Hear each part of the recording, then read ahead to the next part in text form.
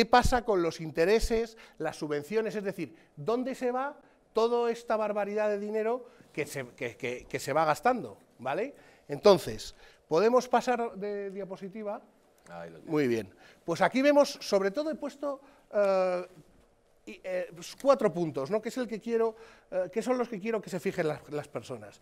La remuneración a asalariados, este punto de aquí, 127.000 millones de euros, que va ahí. Toda la gente que trabaja para el Estado, esa gran masa que tenemos al Estado, las bajas por maternidad, en fin, todo eso va a este concepto, 127.000 millones. ¿Qué sucede? Que en el año anterior veníamos de 123.000 millones. Es decir, lo que ha hecho este gobierno ha sido gastar mucho más, y mucho más, y venga gasto.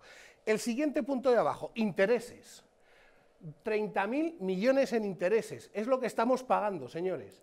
30.000 millones. En esa anteriormente han visto toda esa deuda que teníamos ahí. Bueno, pues con, este, con esos 30.000 millones son los que nos cuesta los intereses, que claro, evidentemente no tenemos para pagar el principal, solo pagamos deuda, y sale de ahí, 30.000 millones. ¿Ustedes imaginan lo que se puede hacer con 30.000 millones? Ahora se lo vamos a contar en un momento.